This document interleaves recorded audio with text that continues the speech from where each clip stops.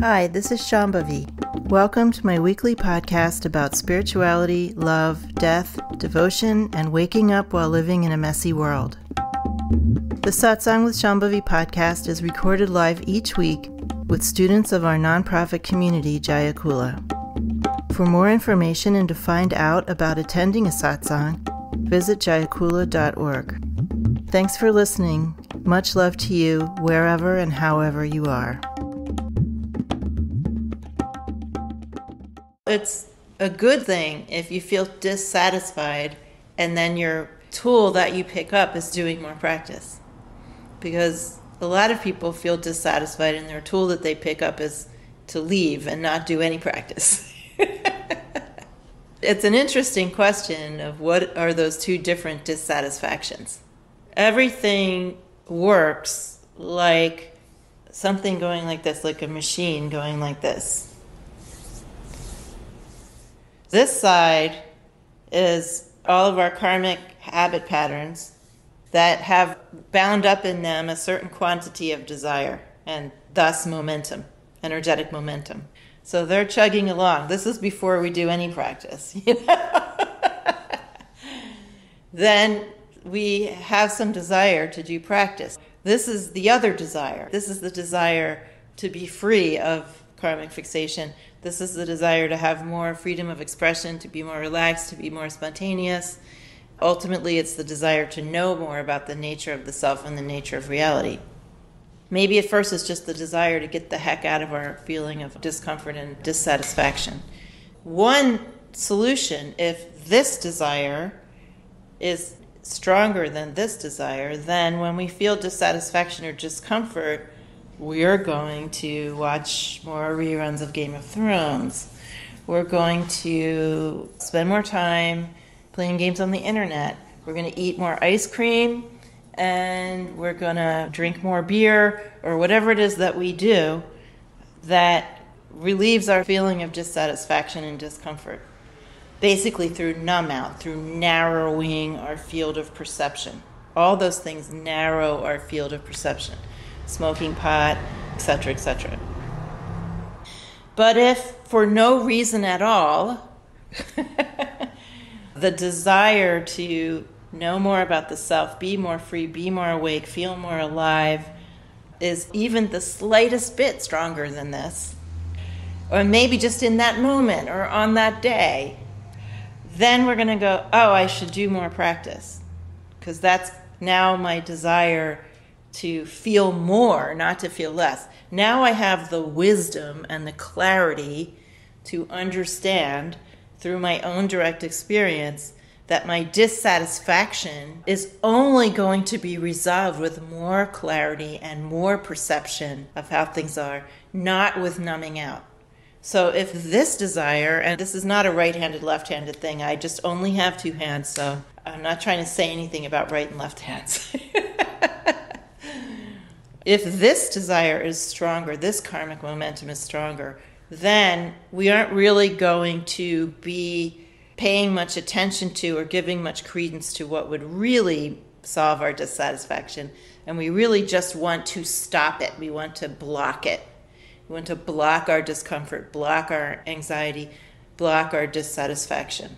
And so we'll just do numbing, perceptual narrowing things. But when this desire is stronger, and that might in the beginning might deviate from day to day. Like one day this might be stronger, another day that might be stronger. But in any case, then we choose the tools of our practice. And dissatisfaction is the great, or one of the great spurs. It's not the only spur to do practice, but it's one of the great spurs to do practice. As long as we recognize what it is that is actually going to relieve us of dissatisfaction. That is clarity, and that's less limited wisdom than the impulse to just block dissatisfaction. So, this is good. It's good that you feel dissatisfied with yourself when you don't do the thing that you know is going to help you. That's a good sign. I felt tremendous dissatisfaction I would say most of my life, including still now, not all the time now, but still a lot of times. And It's a lot of what's caused me to keep practicing and keep going. But what I feel dissatisfaction about is being in a world that I can't fully participate in. That to me is just really dissatisfying. And that's the voice of God speaking in us. That desire slash dissatisfaction to participate fully. I have just unshakable confidence in the magicalness of this reality. And I want the magic. And I feel dissatisfied that I only have a little bit of it available to me because I'm not all that awake. So that spurs me. It also spurs me, it's hard to put into words, but this morning when we were chanting Mahamrityunjaya mantra, I was just praying and praying and praying. Please let there be a world so I can be your servant. Because that's what I want to do. Just let me keep playing this role of servant. Let there be a world in which I can do that. Let me keep doing this. All those things that a lot of other kinds of traditions, more transcendental or more moralistic kinds of traditions, all the kinds of things they tell us, like desire is bad and longing is bad and you should want nothing and blah, blah, blah. These are actually completely counter to what drives people to do spiritual practice. longing is God and dissatisfaction is God. If you don't feel any longing and you don't feel any dissatisfaction, what's going to happen? Nothing. You're basically stalled in whatever condition you're in. You're either a saint or a fool. Maybe there's not that much difference between them. You know, if you're completely fine with everything, hmm. you don't want anything else, and you're not dissatisfied with anything, either your senses are completely shut down or you're already totally realized. I don't know which. but the rest of us schmucks in between want a lot and are dissatisfied a lot. And the thing is, how can we make the choices that help us to move into greater participation in this reality? I have a question. First, I just wanted to say thanks for inviting me to introduce myself last week. I'm trying really hard to break out of this pattern of avoidance out of fear. And I was just wondering if you could talk about avoidance a little bit in that context. Mm-hmm. I mean, avoidance of intimacy, avoidance of being seen, avoidance of showing up. Participation, being seen, pretty much anything in that realm. So even the people that are showing up in a big way and participating in a big way are often in the same condition you're in. There's two ways of dealing with fear of what other people think of you. One is to disappear, and one is to appear very boldly and aggressively. Both of those are trying to resolve the same problem. So don't assume that the people who are appearing very boldly and sound very confidently are actually that. I can relate to you a personal experience. I was in academia before, and I was a teacher. And one time I was at some kind of a round table. I don't remember what it was, but it was on some topic that I was supposed to be interested in. and there was a bunch of other professors there. And I formed what I was going to say in my head. I said all the words I was going to say internally first, and then I said the words I had already decided on saying. And after that, this other professor came up to me, obviously very cowed, and said to me something like, You're so smart, it, it just made me feel how inadequate I am. I can't believe how articulate you are. It just broke my heart because I knew it was all fake. I knew that what had intimidated him was just something made up and contrived. Uh, it really broke my heart. so the idea is that we're here and you showed up as a human and you're here to participate, and there really isn't anything at stake here. There really isn't anything at stake except how open hearted can you be? That is the only thing that matters. It doesn't matter how smart you are, it doesn't matter how articulate you are, It doesn't matter how accomplished you are. It doesn't matter whether somebody likes the way you look or doesn't, or whether you have a good personal brand, or whatever all that is. It simply doesn't matter. And I won't go into the absolute reasons why that doesn't matter, but just imagine yourself on your deathbed, looking back at your life. What is going to matter to you? It's not going to be that everyone liked you or that people thought you were this or thought you were that. I guarantee you that when you're on your deathbed, what you're going to care about is did I do anything good? Was I generous? Was I kind? Did I help anybody?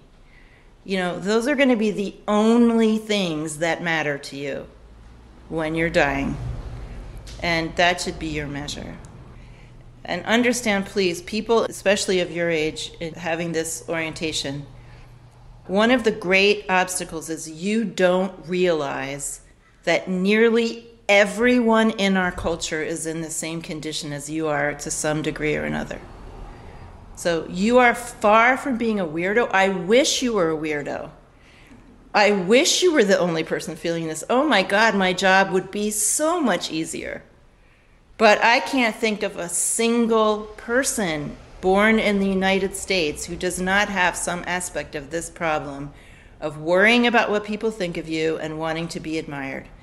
I really don't know a single person who has actual modesty or actual humility and who doesn't care too much about what other people think of them and have their in some cases their whole life decimated in worry about what other people think of them.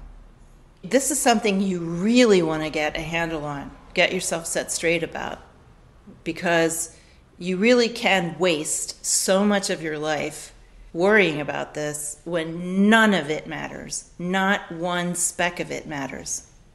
The other aspect of this is you are not a person.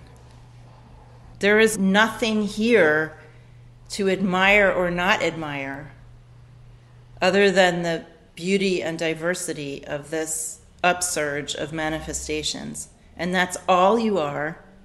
That's why I say there's nothing at stake because the person you think you are is not who you are. You are actually that self showing up as you.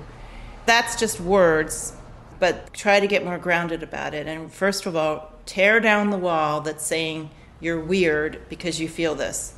Because if you're weird, there's 320 million other weird people in this country feeling some version of what you're feeling. And all of it is 110% useless. And the other thing you can think about, and this is for everybody, is this is what Donald Trump is. Anyone who is feeling this way, which is everyone, you are on a continuum, and somewhere on that continuum is you. And at the far end of that continuum, connected to you through this fear of being judged, is Donald Trump. And that is why we have this person in office. Because we are a country of people who are afraid to be judged. And we will do all these heinous, horrible things in order to prove that we are worthy. And that is what he is. He is like the essence of what our main obstacle is in life, culturally, nationally. So think about that. Think about how you like being on that continuum. Maybe you might want to get off it. I'm curious about like self-referentiality, and I'm wondering if there's any use value to it as a concept. And the reason why I asked that is a couple weeks ago, you said cause and effect is not like the picture, but it can be helpful sometimes. And mm-hmm. so, if you could just talk about what are some useful ways to articulate one's experience without getting necessarily stuck in the like egoism. Mm-hmm. Well, you really need to flip the lens because self referentiality isn't, it's not like how can I make that a better tool? It's how can I notice other people more? When we're doing sadhana or just in some process of growth, of course we're going to think about ourselves and we're going to talk about our experiences. There's nothing wrong with that, and a certain amount of that is necessary. But what we want to understand is that the most full form of compassion is an utter lack of self referentiality. It flows out of recognizing the nature of the self and with all one's energy going out toward others. So we just want to understand that as that's where we're headed at some time or another. What do we do in between is we try to open our hearts and widen our view and include more people in our perceptual mandala, in the mandala of our heart, when we are just living our day, you know, just living our day. One way you can do that is start to pay attention to people you don't normally pay attention to. Start to observe people you don't normally observe. When you notice yourself stuck in a me, myself, and I loop, pick your head up and look around the room or look around the space and see who else is there. When someone's talking to you and you're listening to them, see if you can just listen to them without internal dialogue going on or without thinking about how it's affecting you or what they think of you or whatever. These are all little experiments you can do. Initiate conversations with people that you don't normally initiate conversations with. People in a checkout line, whomever. See if you can call up a genuine feeling of curiosity and interest in people that you don't normally bother doing that with. And see how plain and pure you can make your focus on someone else be in some moment. Just as little experiments you can do during your day. So it's not so much about how can I think about myself in a better way that isn't self involved. It's just don't be so self involved. So but all those things you can do. Can you really listen and respond to other people without it being about you? You know, in more a purely other focused way. Just as an experiment. I told you all about that thing my family and I used to do. I didn't have a great family life, but there was a few things that were fun. One thing we used to do was if we went to a museum or a library or something, sometimes we would sit on the steps outside and watch people go by and then play this game where we would try to guess what kind of person were they, what kind of life were they leading by observing them. Of course, that could get self referential too, because it could be all about how smart and cute your ideas about other people are. Anything could be brought into the self referential fold. but be playful. We were talking about playfulness. See what experiments you can do. Everyone you encounter is God, everyone is a whole universe. And we're here to just enjoy what's here. That's our ultimate purpose.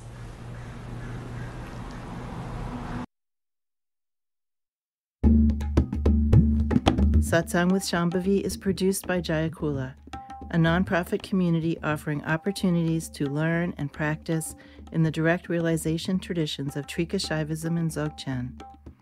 If you enjoyed listening, please help us keep this podcast and many other teachings open to all by making a monthly or one time donation. Visit jayakula.org to make a donation and explore more of our offerings.